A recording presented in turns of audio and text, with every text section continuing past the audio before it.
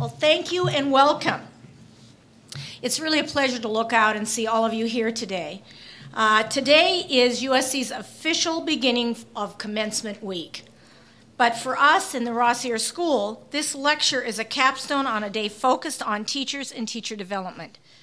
For those graduates of our Master of Arts in Teaching program, better known as the MAT, today is Trojan Pride Day, a day that began with a lunch um, welcoming graduates from around the, camp, around the country to our campus. In addition, we have had numerous activities focused on helping our MAT graduates find a teaching position in a very tough employment environment. But thanks to their membership in the Trojan family, we hope that they've learned some ways to find a teaching position that matches their strengths. Now, for the others in the audience, while you are not likely to be an MAT graduate, you are likely to have been influenced by a teacher, hopefully more than one. I know that each one of you could tell a story about a teacher who had a significant impact on your school years, or on your choice of a career, or on your outlook on life. A teacher who not only taught you, but changed you for the better. At the Rossier School, one of our goals is to graduate that kind of teacher. We're very fortunate today to have with us one of the premier American scholars uh, in the field of teaching and teachers. Susan Moore Johnson is the Jerome T. Murphy Professor in Education at Harvard University. In that capacity, she studies and teaches about teacher policy, organizational change, and administrative practices. Dr. Johnson is herself a former high school teacher and administrator and has a continuing research interest in the work of teachers and the reform of schools. She has studied the leadership of superintendents, the effects of collective bargaining on schools, the use of incentive pay plans for teachers, and the school as a context for adult work. In her book, Finders and Keepers, Dr. Johnson presents the experiences of, her, of first and second year teachers and sounds an urgent call to put an end to finger pointing and to make teaching a sustainable career. Dr. Johnson's project on the next generation of teachers continues to examine how best to recruit, support, and retain a strong teaching force in the next decades.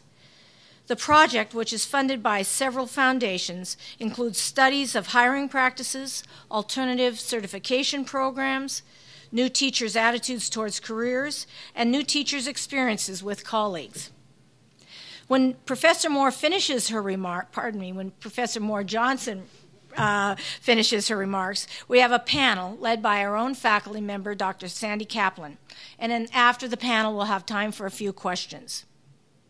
So, to deliver her thoughts on the role and importance of today's teachers, please help me welcome to USC Dr. Susan Moore Johnson.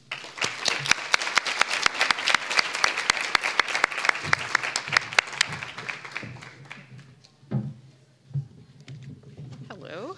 Thank you very much. Karen, thank you for inviting me today to this um, very important celebration and event. Um, I've had a, a wonderful day yesterday and today, um, and have seen your campus for the first time. I understand some of you are seeing it for the first time as well. So we're enjoying a treat. Um, last night I was given this uh, phenomenal USC cap. So my hat is off to you. I understand the Dalai Lama wore one recently here, so I figured I, I could do that too. Um, so I'm here to congratulate you and to uh, talk with you about a few lessons that we have learned from our research that might help you um, launch your successful and satisfying career in teaching. One of the interesting things about researchers is we sort of come to things late, um, and the economists uh, have finally concluded what parents and teachers and students have long known that the teacher is the single most important school level factor in a student's success, and that having a series of ineffective teachers can leave a student woefully behind, while having a series of effective teachers can make the difference between being a dropout and going to college. And that's only the effect that tests can measure, since that's how the economists do their work. Um, it doesn't take into account the kind of personal influence uh, of an inspiring teacher, the kind that, that uh, Dean Gallagher was talking about, whose words of confidence really echo through a lifetime. And as teachers, we never know how far those echoes go. So, who one's teachers are, whether they know their subject, know how to teach it, care about their students, and are determined to see them learn, all that matters to all students in the schools, but especially to students who live in low income and urban and rural communities. We know that teachers matter more for those students. If education is to deliver on its promise for the children in this nation, then our teachers must be outstanding. But we also know that their success, your success, will depend not only on your individual commitment and effort and all that you've learned up to now, but also on your schools and what you make of them and what they make of you. I became interested in what we call the new generation of U.S. teachers in 1998. My daughter Erica was graduating from a liberal arts college and deciding what to do next. From my perspective, not deciding quickly enough. For her, as for many of you, I'd guess, um, education is the family business. My dad, her grandfather, was a lifelong teacher, as were my great aunts. My brother and I are both in education, having started out with careers in teaching. And Erica thought perhaps she might do something else. Why be a teacher like everyone else? Maybe a psychologist like her father. Um, she met with the recruiters who came to her college. Um, who were waving signing bonuses at the time. That time has changed, as you know. Uh, they were representatives of consulting companies and investment banks and technology firms, but none of them really interested her. I bought her a nice jacket for her interviews. I know that she never wore it once. Um, teaching kept tugging at her, but she didn't want to spend another year in school learning to teach. It was going to cost her money and time and um, so she held off on that. But then the recruiter came to campus that that uh, got her attention, and that was Teach for America. And um, it offered her the chance to explore teaching at little cost, she thought. So she signed up. And I've come to think of this as the way that the child of an education professor rebels, not needing anything that I have committed my professional life to. Um, just by the way, if you're wondering whether it was worth your time and money to do all this, to, to get your MAT, it definitely was. After three years in TFA, she, uh, where she was actually assigned to teach first grade bilingual based on her high school Spanish, uh, she returned to graduate school full time to, uh, to really learn how to teach reading. And she taught for a number of years after that, now is back in graduate school. At the time, I was, I was struck by the differences between Erica's cohort that was entering teaching at that time and my own cohort of teachers who'd started to teach in the late 60s and early 70s. Um, we, as a cohort, are about to retire, and we are what are called the veterans when you read about us in the newspaper. Um, we are different generations, yours and mine, not only in age we have different expectations, different opportunities, and different aspirations. Uh, these differences, which have come about because of the time in which uh, we became teachers, have actually far reaching implications for students in schools and for you as teachers entering your new career. Since 1998, uh, when my cohort began to retire, the shape of the teaching force has been increasingly U shaped, with a large group of veteran teachers about to retire and a large group of new teachers entering. And for demographic reasons, there's a kind of gap in between, which we've called the, the generation gap. And this U shaped pattern can be seen nationally in the data, locally in the data of a district, but also within schools. You'll see a group of more experienced teachers, less experienced teachers, and few in between. So seeing that in some of the big numbers in 1998, my doctoral students and I set out to study 50 new teachers in Massachusetts. And this is the basis of the Finders and Keepers book that, that uh, Dean Gallagher mentioned. These teachers came from a variety of preparation programs, alternative and traditional, and taught in a range of schools uh, in, in various settings, all public schools, but charter public as well as traditional public. And we followed them over four, four years. We wanted to know why they entered teaching. What were they interested in, given all those recruiters who were out there asking them to do other things? What did they expect in a career in teaching? And what did they find in their schools? What were schools doing that might help them succeed as teachers or perhaps fail as teachers? What lessons might all this provide for new teachers like you? After four years, we found that their decisions about a teaching career um, mirrored pretty closely the national statistics. 17 of the 50 were in their original schools, 16 had transferred to new schools, but were still in teaching, and 11 had left public school teaching altogether. So we studied what was behind those decisions, and we learned a lot about them as individuals and about their schools as context for their teaching the new generation of teachers that you're joining, and you really are, I know we do Generation X and Y, and were you born in July, and where you fit on that line, but you are part of this new group. Um, are, are you're joining differs in important ways from mine.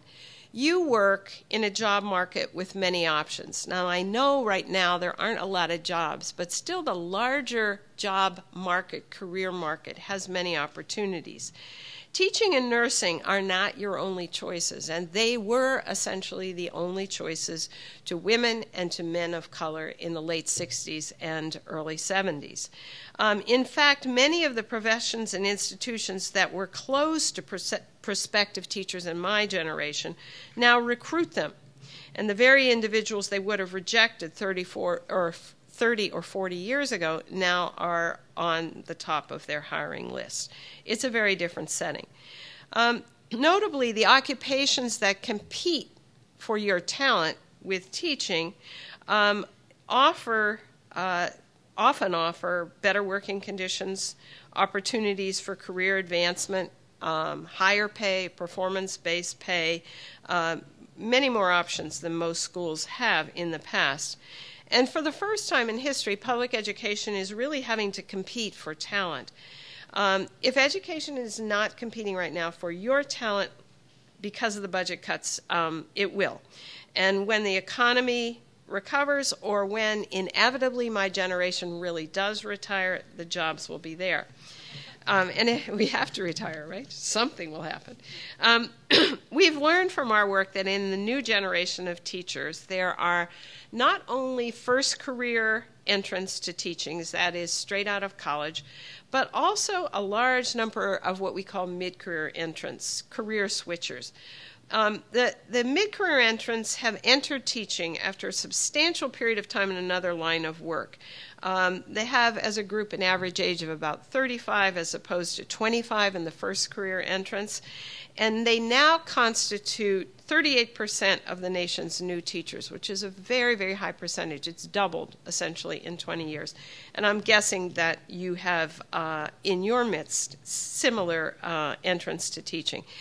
Uh, it's such a large group that we have to think differently about this cohort of new teachers. Mid career entrants have come to teaching. We learn in search of more meaningful work. Uh, they have tired of uh, being in the airports of the world repeatedly, uh, having to carry all sorts of gear to keep in touch with their bosses, and they want to work with kids. They enrich schools with what they've learned on the job, things like how physics is used in developing flight simulators, how the First Amendment is protected in courtrooms. Uh, these are the kinds of real life connections with um, curriculum that students love and can learn from. Many mid career entrants have raised their own children, feel confident about their personal authority. Although, as one new teacher who is a, a mother of four admitted, the real deal is real different. So she wasn't quite so sure she had all that classroom management in hand. Um, Mid career entrants have known other types of organizations, and this is really important. I, like some of you, went from school to school to school and back to school. I was in classrooms one year after another. Um, people who have worked at IBM tell me that when things don't work well there, they reorganize, they do things differently. But some of us have been in school so long we can't really see what a different approach would be. New teachers also have uh, both a short term, uh, individuals have either a short term or a long term commitment to teaching. It, it, in the 60s and 70s, we were making a long term commitment to teaching. Not only teachers, but bankers. You know, a banker was a banker for life, and the bank to which that banker was connected had the same name for 10 years, 20 years. You know, there's a kind of continuity. New generation of teachers and new generation of um, professionals actually think about teaching differently. One of the long termers in our group who saw teaching as a lifelong career said, I just always knew I was going to be a teacher. I assume that this is what my career will be for life. People change careers so many times, or the average person does but I don't expect to. Of the 50 new teachers we interviewed, only 17 said they planned to stay in education long term, and only three first career entrants planned to remain in the classroom full time for an entire career. So it was just sort of remarkable numbers. Now, they were guessing about their futures, and they were guessing at a time when they thought there were opportunities everywhere. But it is a really different perspective. This comment from a short termer was typical of those expressed by 33 of the teachers we interviewed. I'm a career changer. He was a mid career entrant. I'm a career changer. I figured why not explore a new field? My guess is that I'll need to have a success, sense of success in order to stay. And if I feel that way, I'll probably stick with it. If not, I can return to software development. So, this tentative commitment to education means that schools and school districts have to think very differently about retention. And that's a whole new thing, a whole new topic since the year 2000.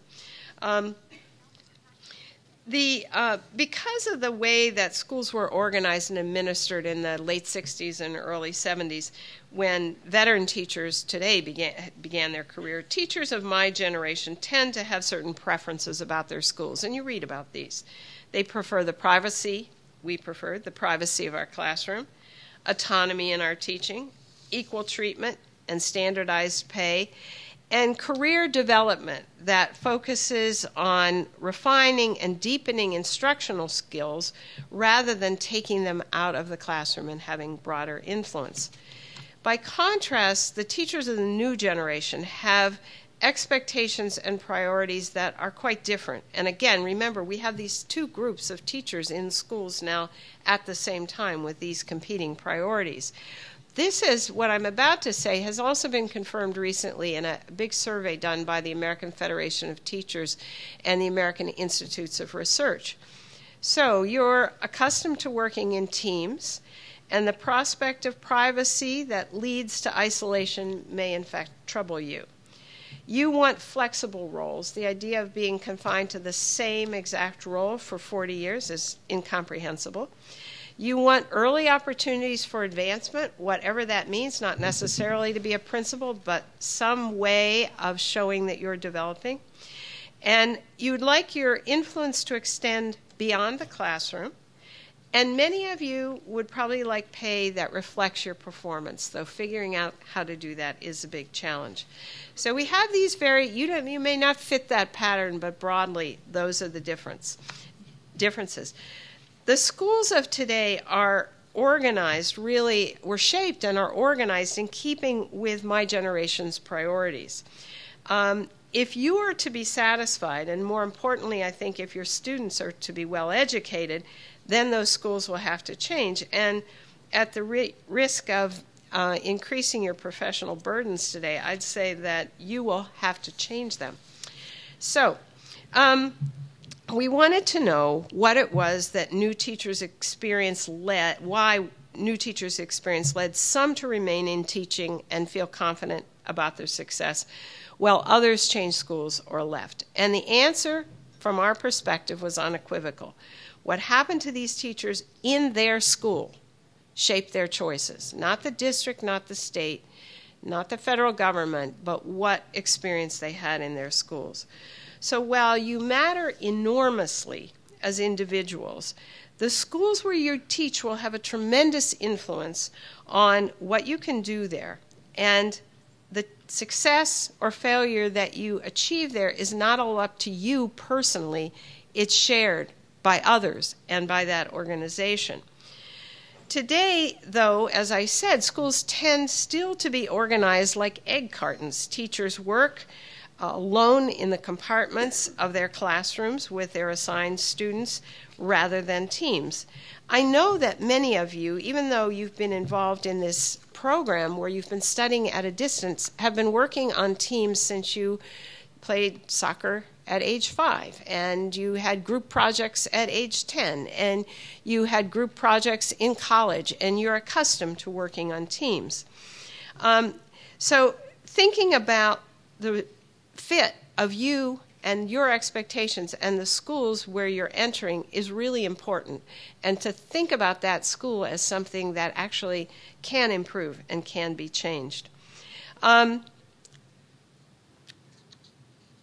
one of the one of the things that we have in schools, in addition to the cubicles, is that teachers' roles are the same, that their pay is the same, not the same, but uniform on a standardized salary scale, uh, and that the careers that are available as teachers, as classroom teachers, do not offer expanded influence or recognition over time. There are some very promising programs in districts such as Pittsburgh, Baltimore, Montgomery County, Maryland that are developing uh, career ladders that have real substance and, and meaning to them. So it's not as if this is not all in the works, but you may not find it in the school where you work. Schools have to become organizations that make good teaching not only possible, which it's always been, but likely.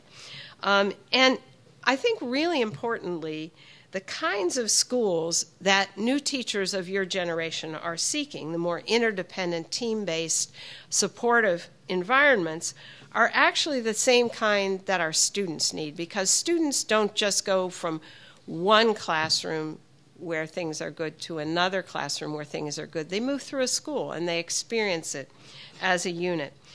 So I'd like to focus on four challenges briefly that you'll face in getting started and um, so offer some suggestions that are drawn from our research about how you might approach them. The first one is choosing a job, and I know some of you met with uh, superintendents for advice. Um, I would urge you to talk about choosing a job and not finding a job. It sort of creates a whole different way of thinking about it. I'd urge you to search for a school where you think that you can succeed with the students there. So schools offer different things. What does it this school where you might work offer new teachers? Is it an orderly place for teaching and learning? Because if it isn't, then you probably are not personally going to be able to create all that order yourself. Do you have colleagues whose work you respect and you think you can learn from and who want to work with you? Um, schools that maintain positive relationships with parents in the community make it a whole lot easier to do that for the kids and the parents in your classroom. These are the kinds of organizational questions that you should be asking. There's good research that suggests that if people have a good preview of the work they take on, even if that work is extremely challenging, they are more likely to stay and succeed than if they're surprised by it. So I would therefore urge you to go for what we are hoping always will be information rich interviews rather than a quick, uh, do you meet my criteria? I need you tomorrow, sign on. Um, our research with um, surveying teachers in four states asking about their hiring, this is work that I did with um, Ed Liu, who was a student of mine, um, we found that uh, overall, a third of them had been hired over a month before school started, like now or June or maybe July. A third were hired in the month before school started, and a third were hired after school started. So, this timing thing about finding a job, if you're anxious, that was in normal times.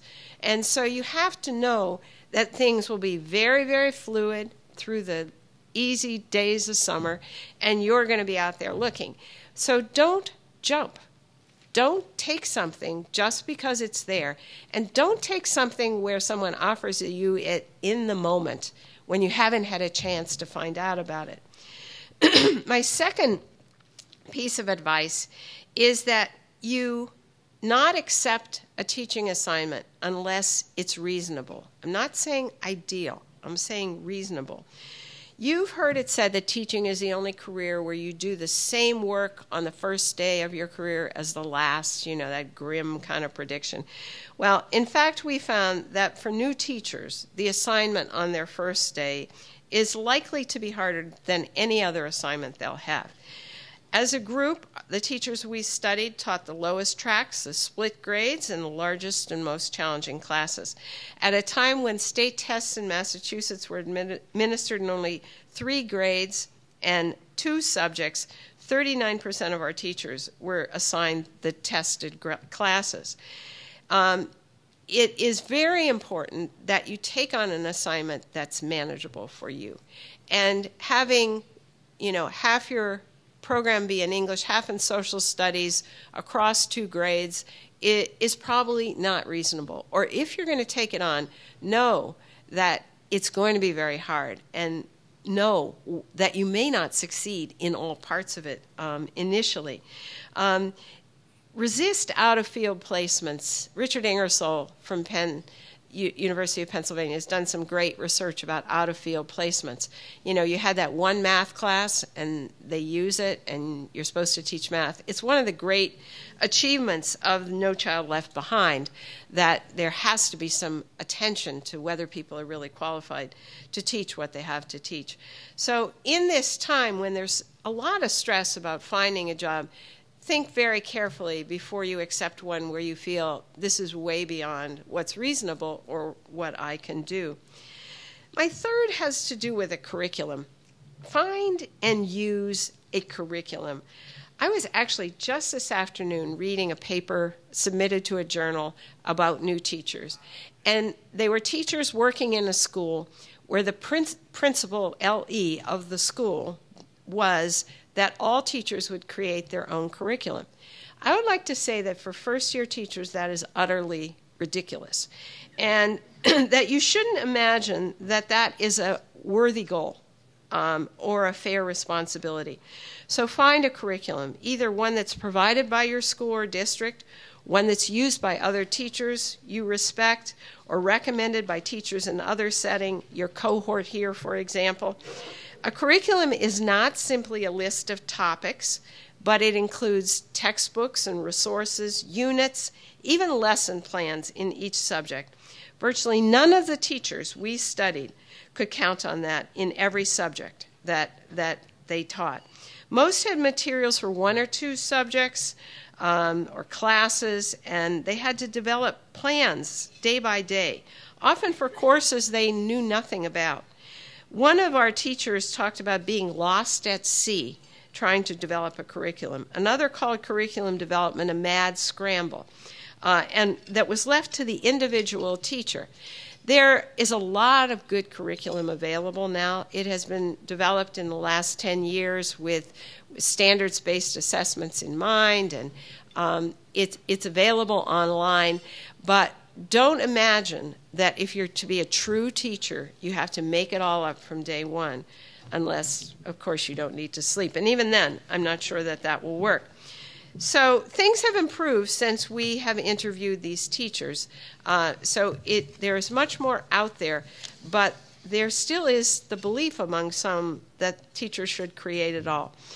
Um, the next piece of advice I have is that you build day to day working relationships with your colleagues. Now, what I'm about to say next is controversial, but there's good research behind me. I have very little confidence in one to one mentoring for new, new teachers. If you're lucky and you're assigned an effective mentor, and your mentor teaches the same subject and grade that you do, and you get along, and it's the kind of style of teaching you would like to emulate, that's good and you're lucky. Um, but don't count on it. I'm, I'm accustomed to saying that the survival rate of marriages in our country is 50%. I don't know why we imagine that these kind of random assignments of mentors should somehow miraculously make your life as teachers. And and the problem, of course, is that if you're led to believe that your mentor will provide your future, then you don't pay attention to the person next door down the hall, the group of teachers in your grade level, who actually are the people that you'll be working with most closely and from whom you can draw a lot of different lessons um, and experiences. Um, we asked our teachers, uh, whom we interviewed, how often they interacted with their colleagues, what they talked about, what they learned, what they needed from them. We tried to figure out what their cohort, what their cluster uh, of colleagues was, what the what the group was. It was often a grade level, um, a cluster in the middle school, part of a department or a whole department in the high school, and occasionally in very small schools it was an entire school. So we asked them to describe a lot of that. And then we analyzed their interviews really closely and decided that the teachers generally worked in one of three kinds of professional cultures with these groups. We call them veteran oriented, novice oriented, or integrated professional cultures. So I, I want to briefly tell you what those are. Um, the veteran oriented and veteran oriented professional cultures typically had a high proportion of veteran teachers, no surprise. These were experienced teachers. Some of them were very effective and some were not. So, this is not the Deadwood veterans, they just were all very experienced teachers.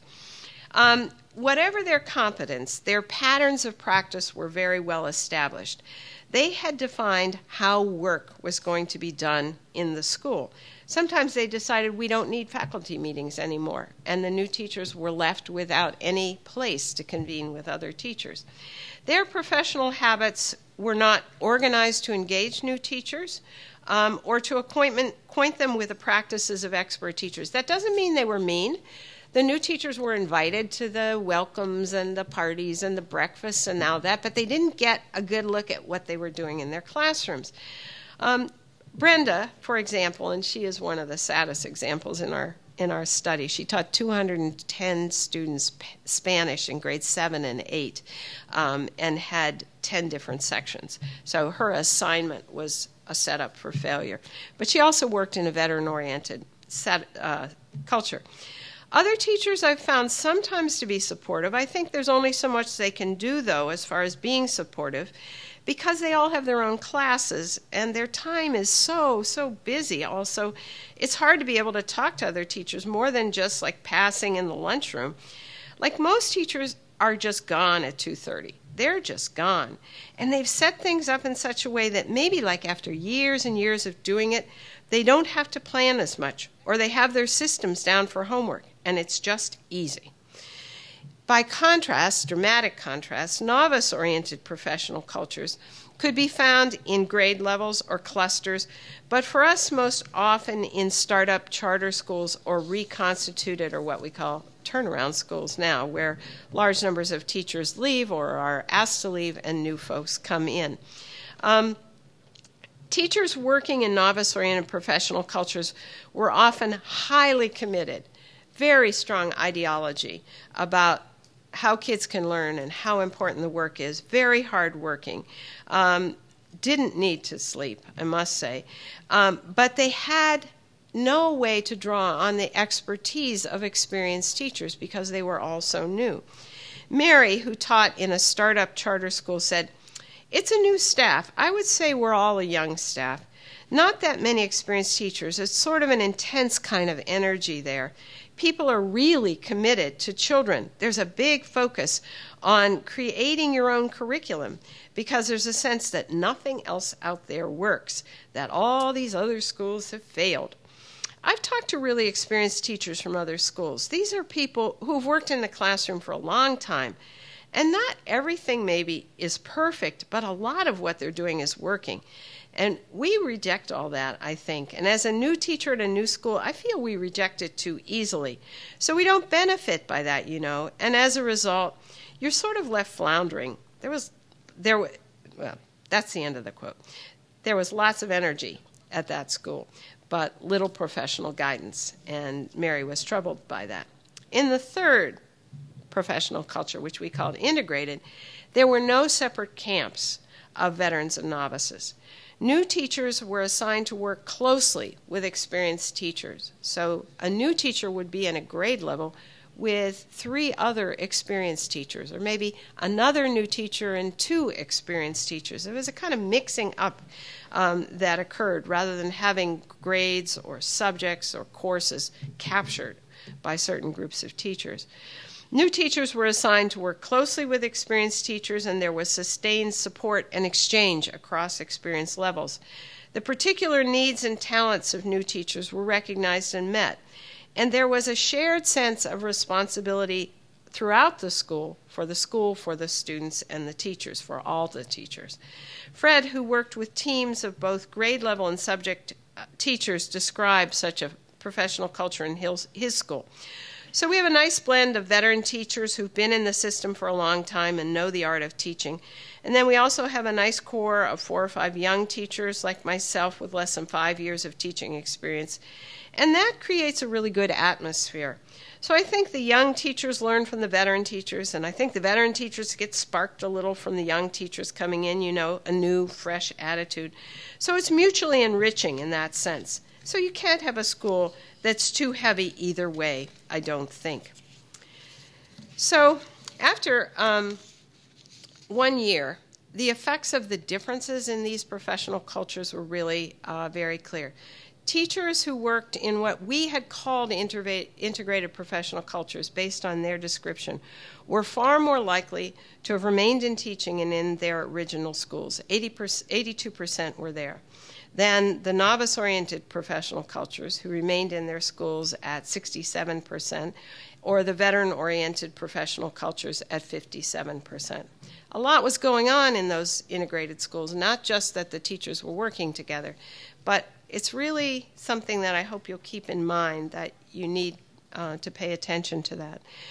So, my advice is look for schools and teaching assignments that are likely to engage you day to day, working with colleagues who have different levels of experience and expertise and teaching styles.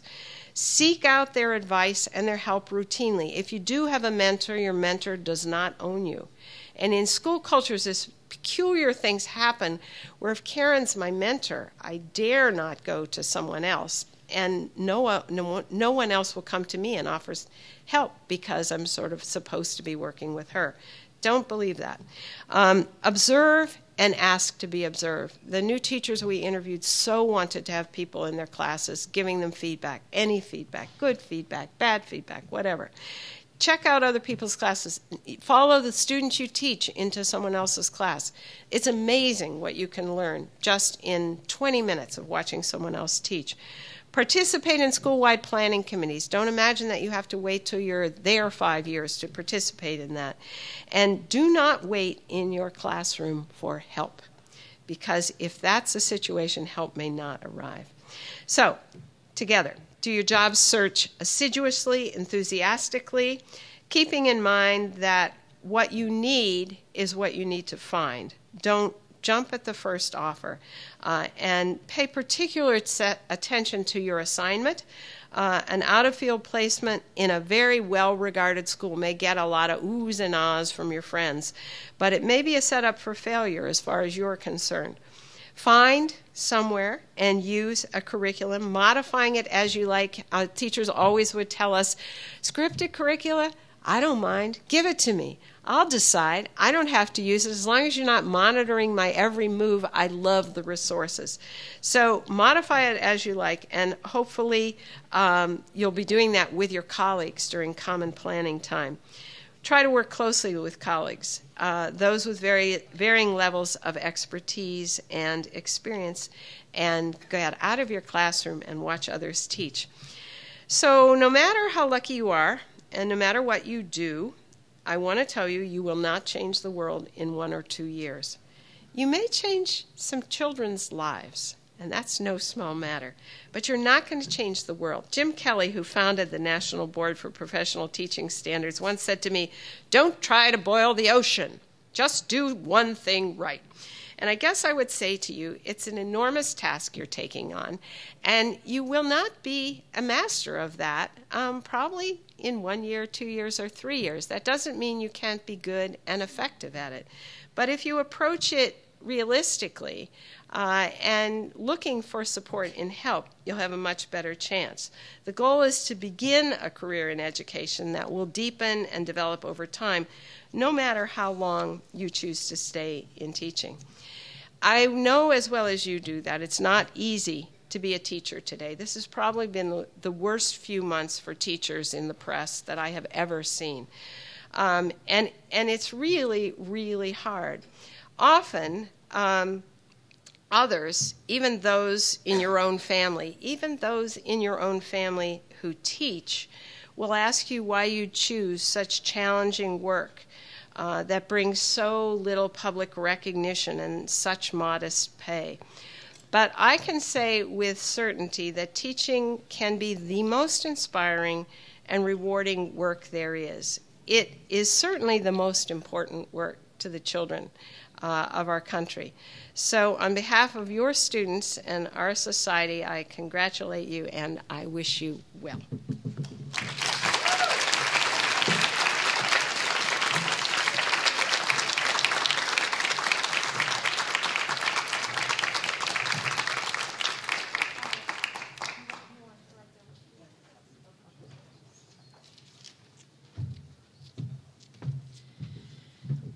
Thank you, Susan. That was terrific. And to build on your remarks, and as maybe a bridge to uh, in, uh, engage the, the audience, we're going to ask uh, Sandy Kaplan to come up with her panel of students, soon to be graduates, and come on up here. And uh, they're going to talk about some of the the uh, points that uh, Dr. Johnson made. And we're going to ask uh, also Dr. Johnson to come on up. It'll be about 15 minutes, and then we'll get to get your comments and your questions. So come on up. And Sandy, will you introduce your or have them introduce themselves?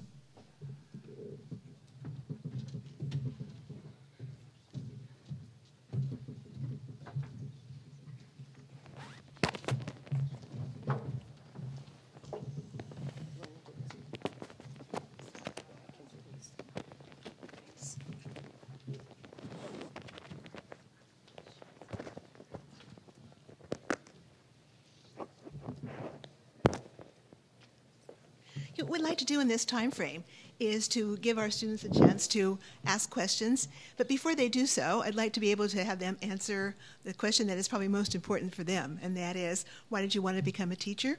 And what have you done in this process to really develop your skills to become such?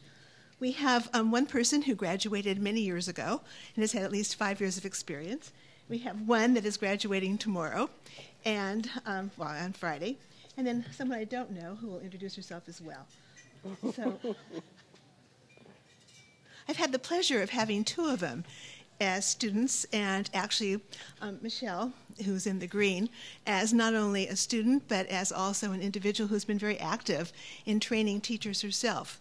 And so it's been kind of fun to watch her evolution as an individual and as a professional.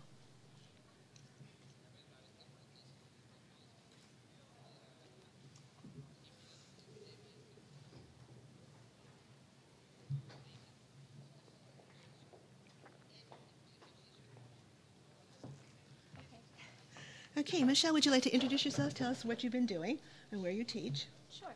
Can you, uh, this, can you hear me? Can you all hear me? No? Yes, now. Can you hear me now? um, hi, uh, good afternoon. My name is Michelle McGuire. Um, currently, I'm a fifth grade teacher, and I teach right across the street, I think it's this way, at the Alexander Science Center School. Um, I've been there since I graduated the MAT program.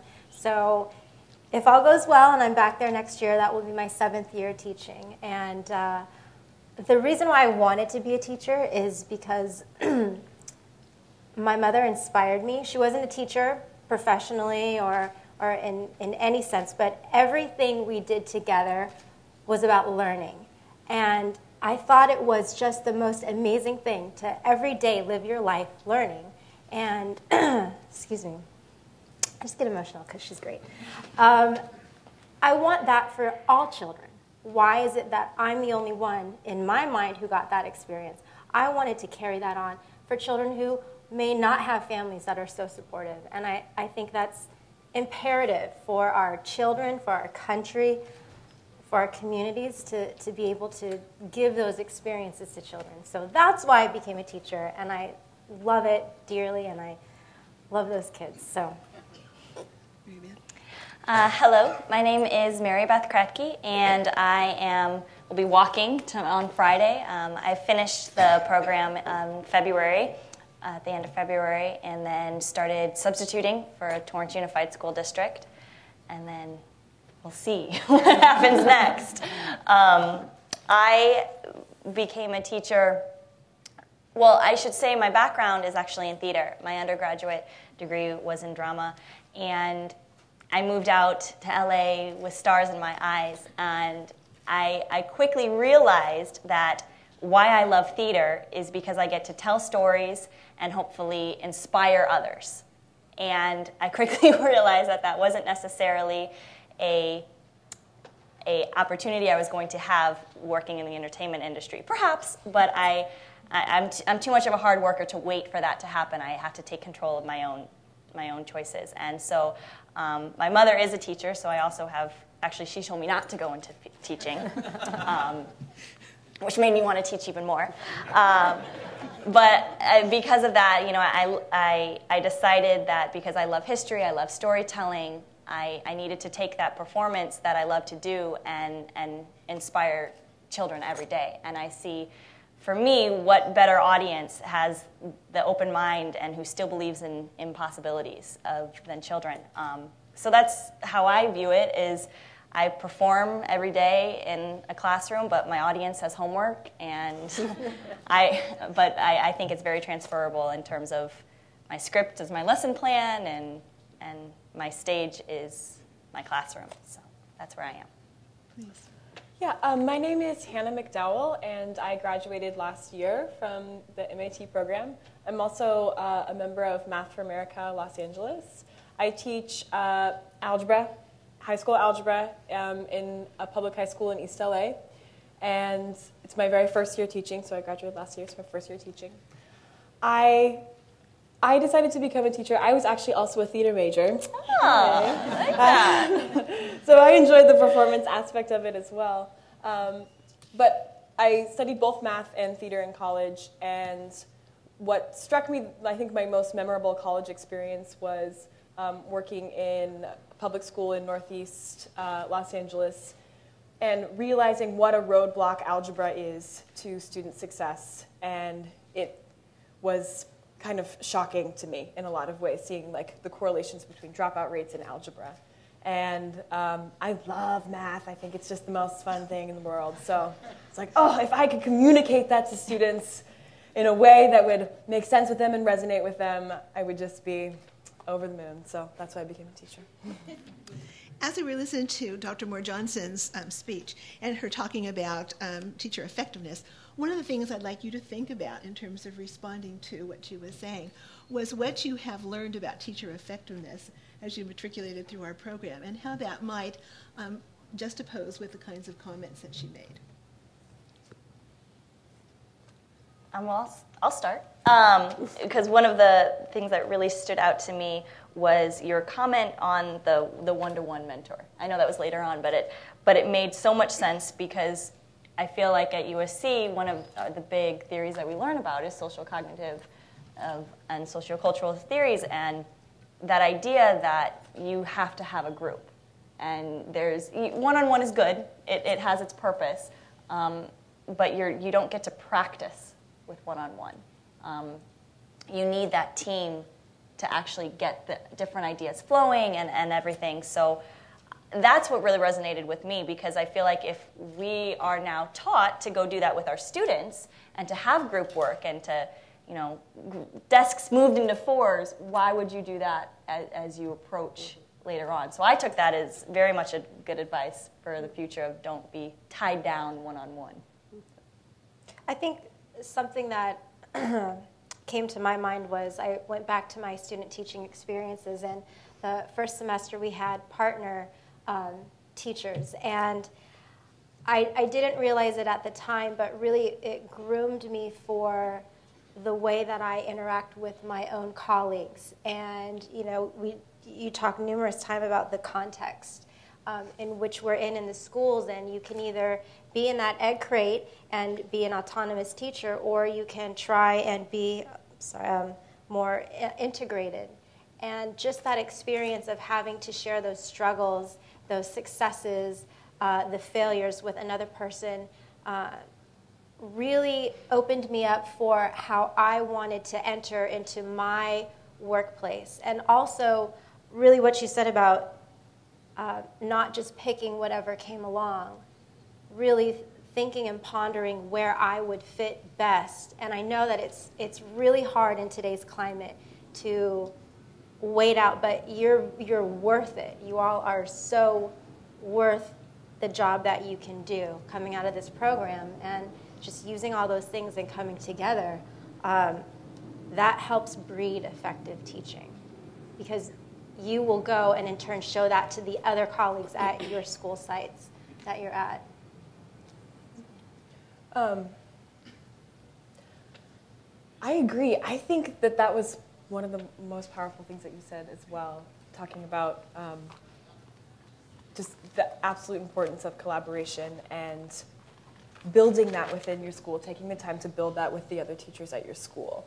Um, I was fortunate because I was in the same school as another math teacher from Math for America who also graduated from this program, and so we had a lot of similar, um, with similar ideas about how we teach, and so we had like an automatic built-in collaboration. But then it was so great to also be able to share that with the veteran teachers at our school and they, I was so surprised when in the first couple weeks of school I had veteran teachers coming into my classroom being like, oh, so that's how you number the desks and you color it this way.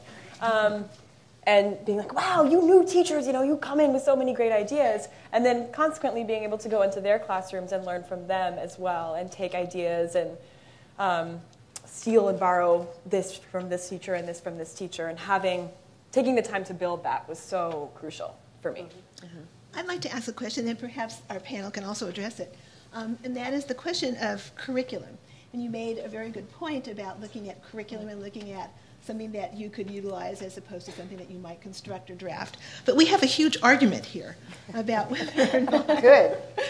and it's a long standing argument. So perhaps you could address that a little bit more. Um, there are those of us that believe that prescriptive curriculum creates um, and takes away some of the ingenuity and some of the creativity and the responsiveness to students that we want our students to have.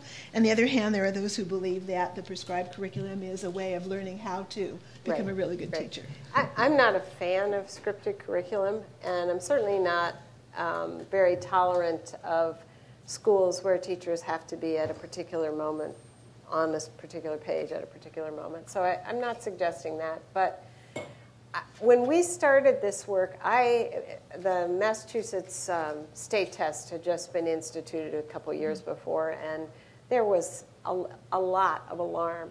And I thought, oh, we're going to go into these schools, and the teachers are going to be angry about the fact that they have to teach the curriculum. And in fact, we found their desperation that they did not have a curriculum. So it was more the total absence of it um, I, and I, I, obviously, I don't think either extreme is necessarily appropriate.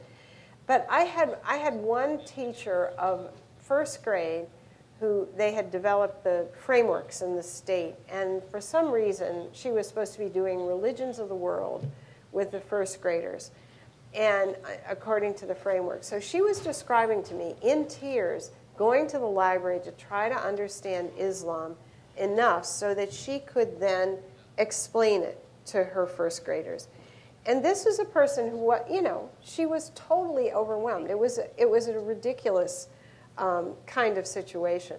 So I think that you get, you know, I, I've been teaching a long time, I'm still doing this, it's just grown ups. And I still am developing the kinds of skills that, you know, take a long time, figuring out the sequence of lessons, figuring out what follows what, and how to pull things together, and what to do with simulations.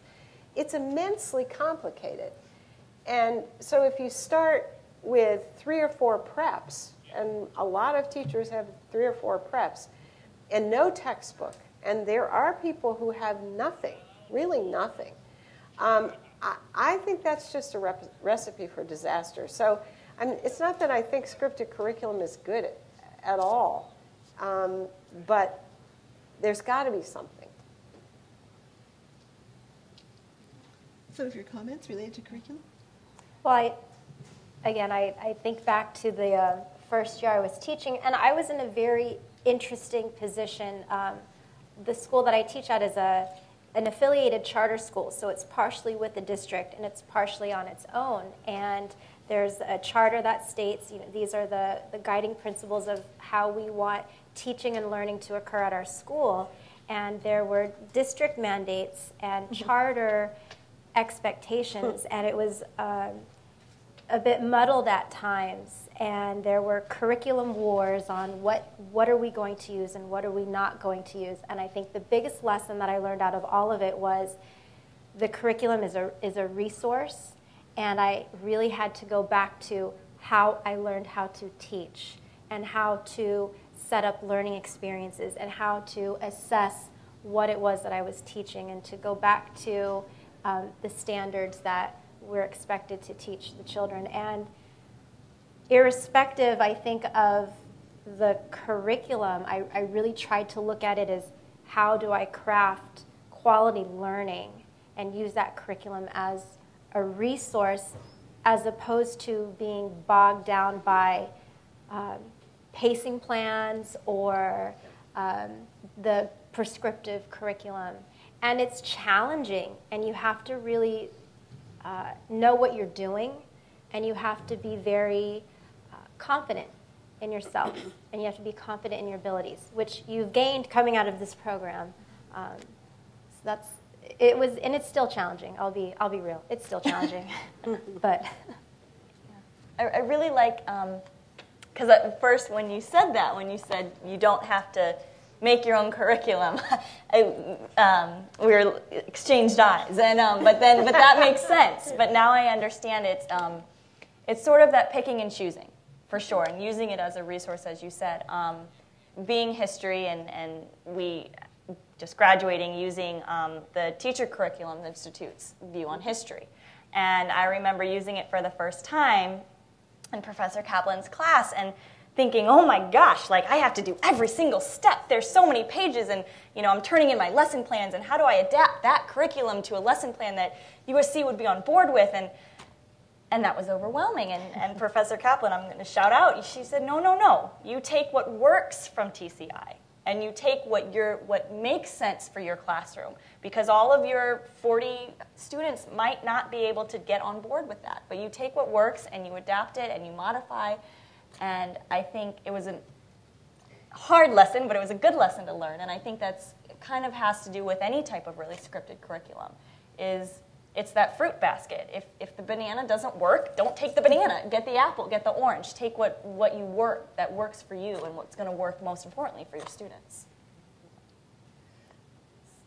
I'm a first year teacher, and it's tough. um, so that's actually something that um, Pam Mason, the director of Math for America, sitting right there, she, that's something she said to us. She goes, don't reinvent the wheel. Like if you're if it is available for you, take it because otherwise, like you said, you'll never sleep, which is true.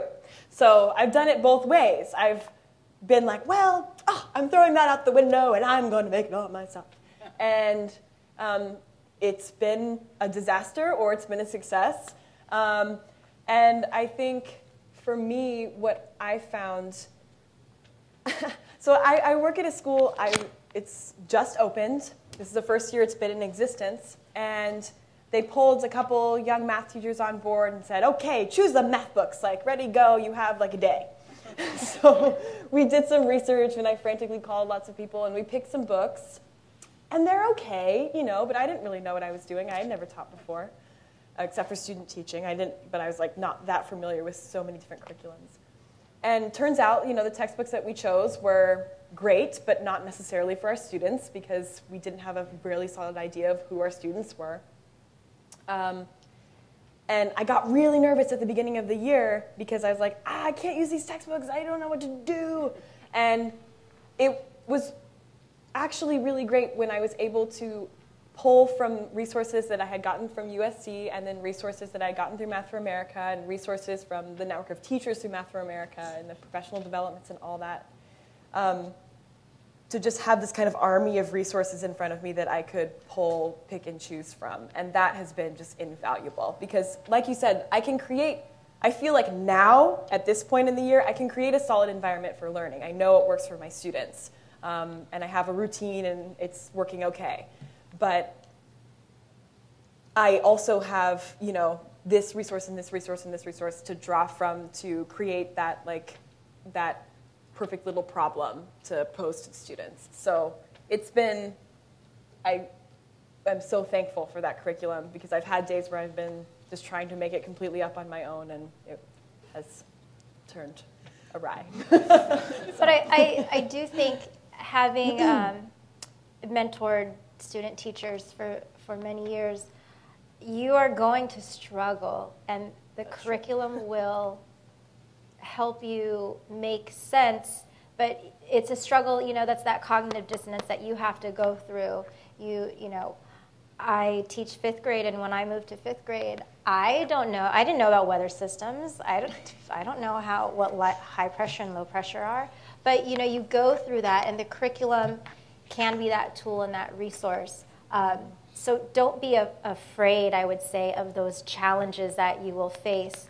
Um, but I was cleaning out my desk today and I found this manila envelope and it was really, really tattered and beat up. And I'm like, what is this manila envelope? And I open it up, and there are all of my notes for when I was the, in the MAT program. I keep them in my classroom. I still refer back to the notes on how to create my lesson plans and how to um, navigate through the content areas. So it's challenging, but you do have those skills, and you can get through the curriculum. In the last minute that we have, Dr. Moore Johnson, I'd like to ask you a question that maybe would help all of us, and that is I got a call on um, Monday from somebody who was very excited about a job they were offered. And the thing that was excited most about what? a job that they were Oh, offered, job offer. A, a job that this person was offered. Actually, it was two of them. And among those things that they were talking about that were so exciting was that every classroom had a smart board, that there was money for field trips, that in fact there were brand new Xerox machines in what's known as the faculty lounge. But there was two things that were going to happen for them. One, there was not going to be an assistant principal that could help them in any way, shape, or form coming into their room. And secondly, that there would be no money for any kind of induction program. What would you have said to this person in terms of choosing that particular venue for teaching? I would suggest that they spend a little time at that school. Um, that's, I mean, I would say go looking somewhere else. If it were my own child, I would say this is, smart boards are not smart. you know, they're. Um, so, my my daughter, when she started, they had laminating machines in her school. Someone had given these laminating machines, and that was kind of the whole thing. Everything that she could find was laminating. but they also had they also had a discipline system school wide, a sort of behavior thing, one of those red, yellow, green light things, um, which was enormously helpful. So there, you can have a place with smart boards where there is other stuff going on. Um, the absence of a, an assistant principal, you know, maybe I can imagine it being better off without some assistant principals I know. So, you know, it all kind of depends on what really is going on there. Money for induction, honestly, I would be more interested in knowing what the assignments are. Do teachers work in the fourth grade who aren't all of the same age and experience? So I would always say, ask to spend a day at the school. See what's going on. And if no one wants to talk to you, go somewhere else, you know? thank you. And thank all the panel for being here. And thank you very much for your responses to our questions.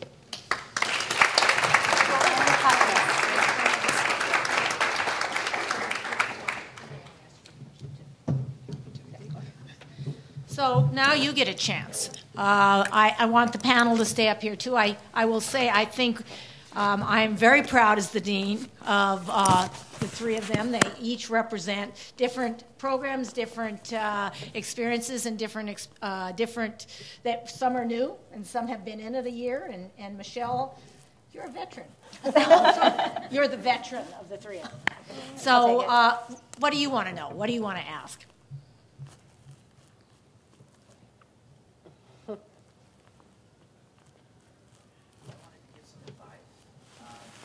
You want to tell who you are? Oh, my name's Arani Venkesa.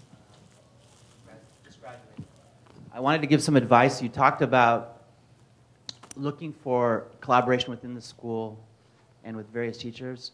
Um, I found that you can find a tremendous resource if you look beyond the school as well, um, in the community with people that are not teachers, but also in, in the internet, in social networks. So I participate quite regularly in a thing called everybody should, called Ed Chat, New Teacher Chat, and Math Chat on Twitter. Now, that may sound ridiculous to some people, but there are so many really creative teachers on there having very in depth discussions daily about every topic you could possibly think of.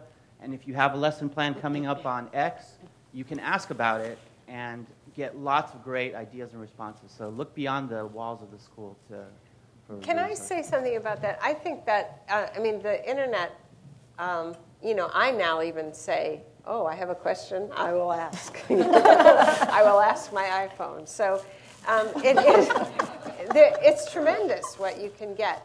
What you can't get is the ongoing work with your colleagues. And for the sake of the kids, you need to be working with the other teachers. So, not to say that's not a tremendous resource, but I worry that we've become so connected with the outside sources of information that you know it's a way of coping if your colleagues won't have anything to do with you certainly and it's better than not having people. But the children are going through the school grade by grade and so if we're all teaching them but we don't know what each other is doing or there's no relationship among our you know classes our approaches our curriculum that's a problem. So i, I think that sort of keeping both going would be really important.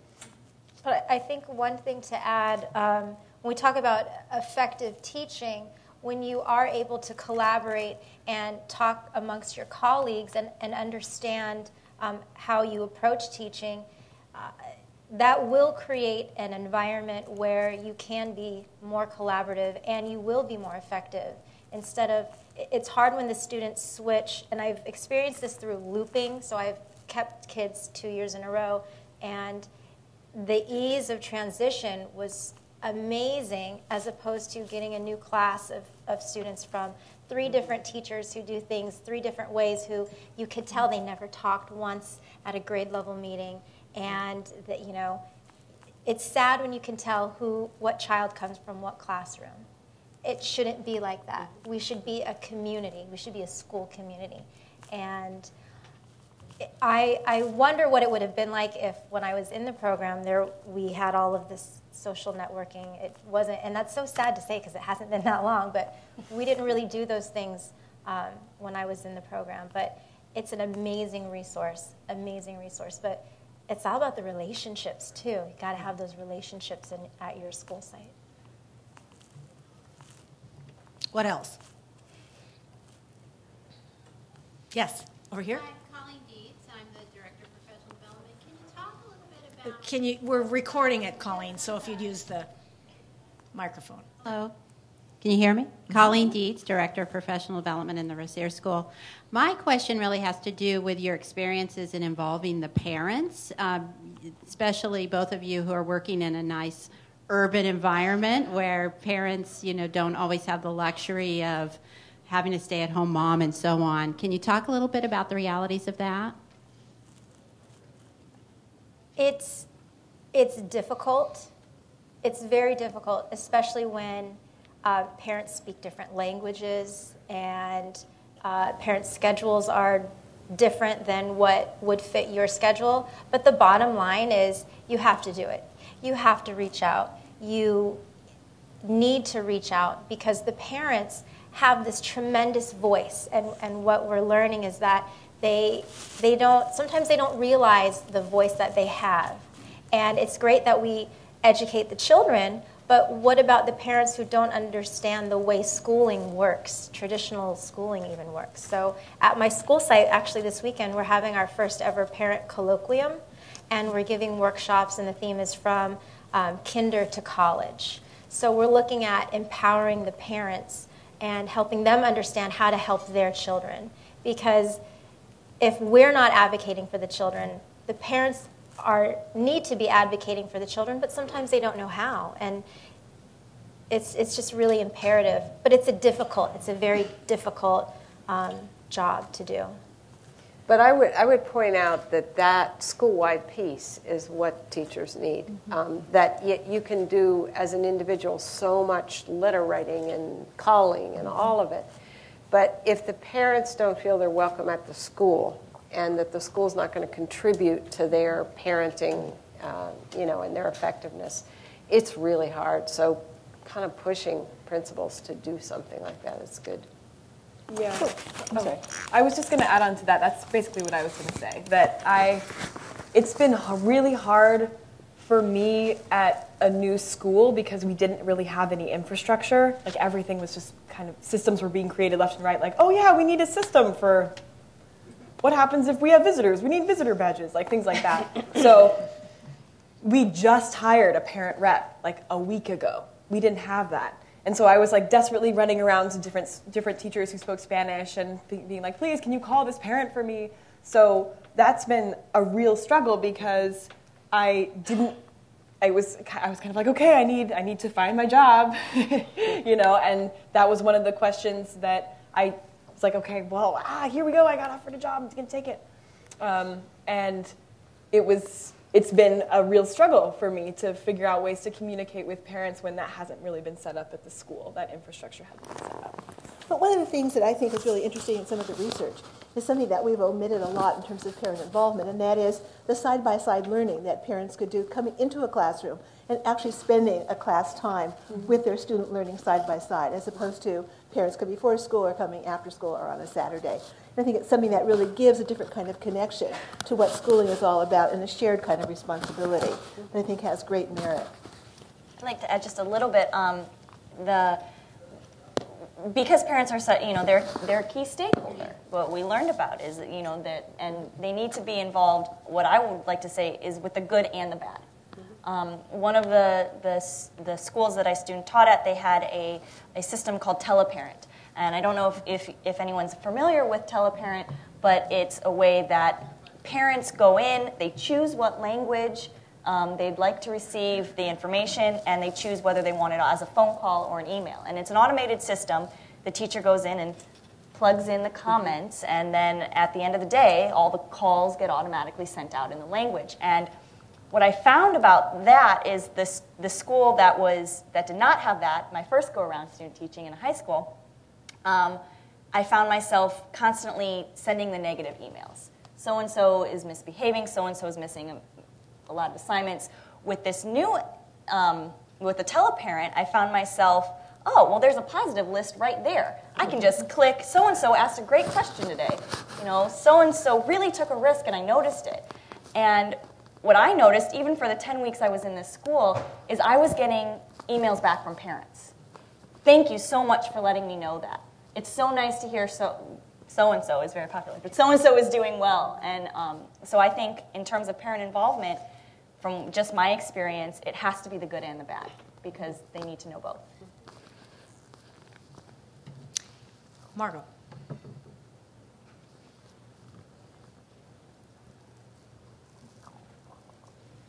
Hi. Um, I have a question about school culture. So many of the things we've been talking about are characteristics of school cultures, and you know, um, I have student teachers sitting in the room that have had to navigate the school cultures that they're student teaching in, and I'm wondering.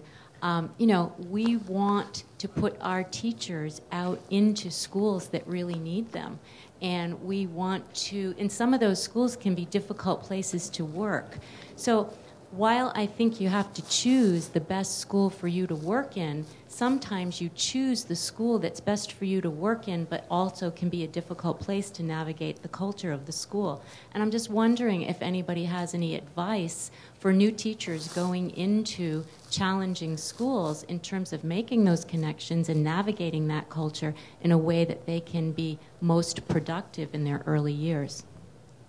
This is an argument that we have among my colleagues and I about this because it, it's a huge issue.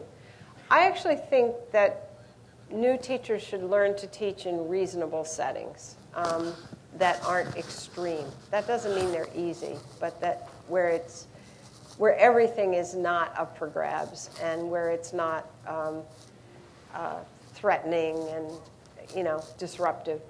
Uh, I think more experienced teachers should be in those schools, and unfortunately, that's not the way our school districts are organized. But I, I, um, I think it's a question. If, if you're starting to teach as a two year commitment and you're going to give it your all for two years, and you know you can take you can be in the Peace Corps, you can be in a in a really um, severely um, needy school, you'll, you'll do some good there.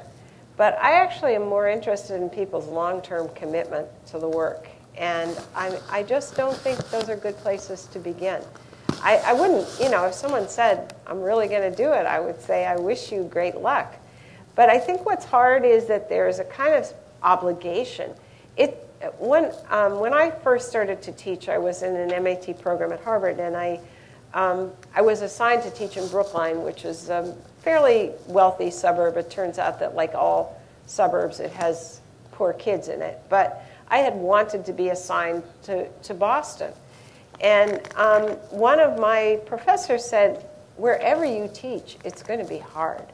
And wherever you teach, you're going to contribute. So don't imagine that you have to be in the most challenging place. And you know, it was hard, but I was, I was working with colleagues from whom I learned an enormous amount. And then I could teach in more challenging settings and with more challenging kids. So I, I, I think it's really difficult, but I guess I want to put that point of view out there because I think the pressure is so great to save the world immediately in the most difficult situations.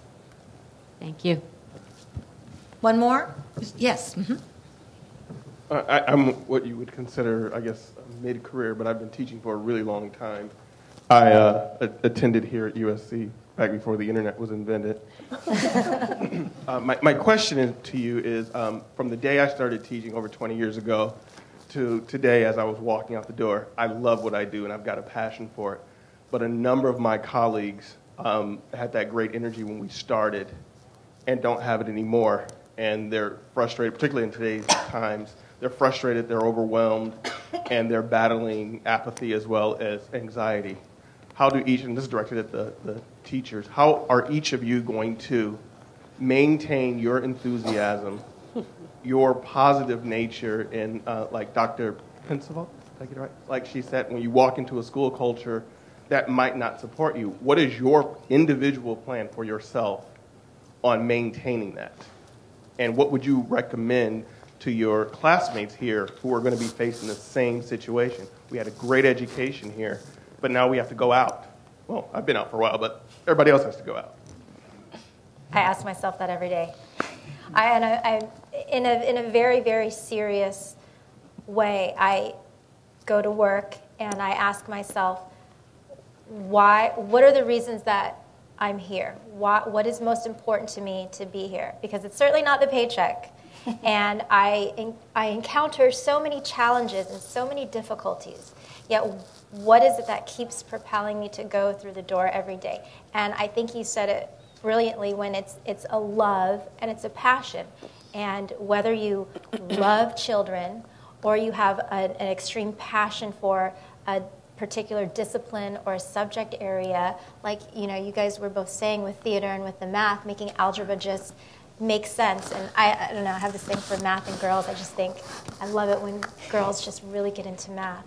Um, but it's that passion and that love for teaching that keeps me floating above all of the disenchantment that I see and the negativity that I see around me. And especially with these challenging times, nothing's perfect. Nobody said this, this career path would be perfect and I would always have a job and I would always be able to pick the perfect class. Like these classes, these kids are challenging. I'm, I'm just telling you, they're challenging.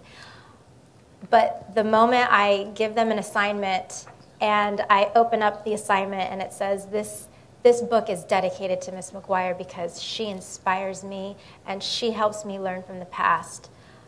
I'm sorry, it just like makes you tear up and it makes you keep going. And it, it's because of that love. And some days you forget about it, some days you have to dig really deep to find it, and some days it's, it's right there, right in front of you. So I have to remind myself every day it's, I, I love these children and I love what I do.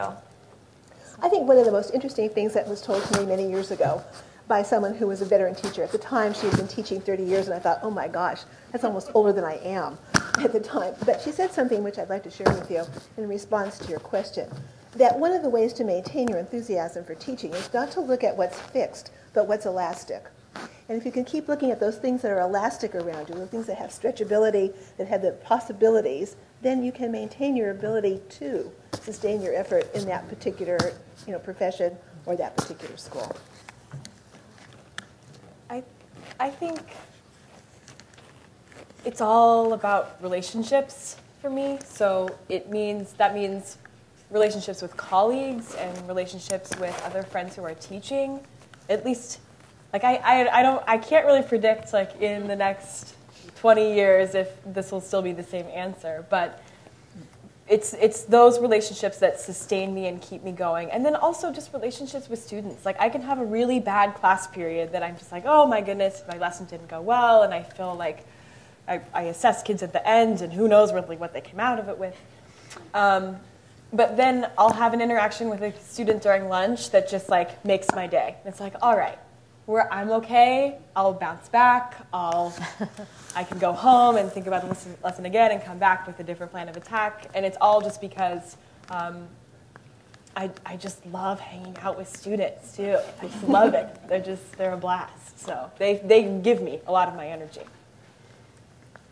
Well, I was listening to your guys' advice because I'm not. Uh, but I, I mean, for me, my my advice to myself is that you know that don't give up. There's an incredible support system if you reach out. Um, I first week into student teaching, my iPhone got stolen because from one of my students and. Professor Kaplan sitting on the phone with me as I'm crying, saying, "What am I doing here? You know, like I'm. Afraid, I, how can I keep doing this in my first week? It's already messing up." And all three professors of all, in all three um, classes I was in at the, in that semester, you know, sent me their cell phone numbers and said, "Call me. Let's talk about this. This, you're not. This is one day."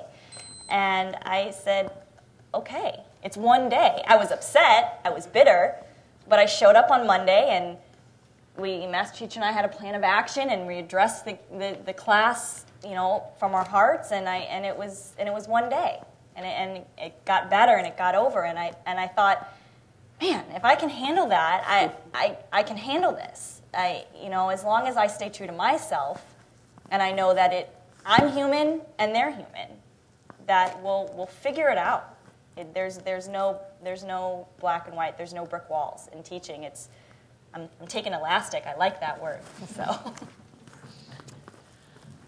All right. Uh, I want to th- uh, please ask you to join me in thanking the, uh, our speaker and our panelists.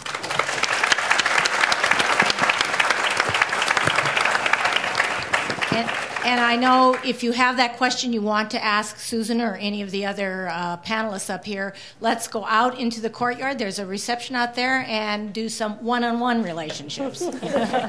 Thank you. Thank you, ladies.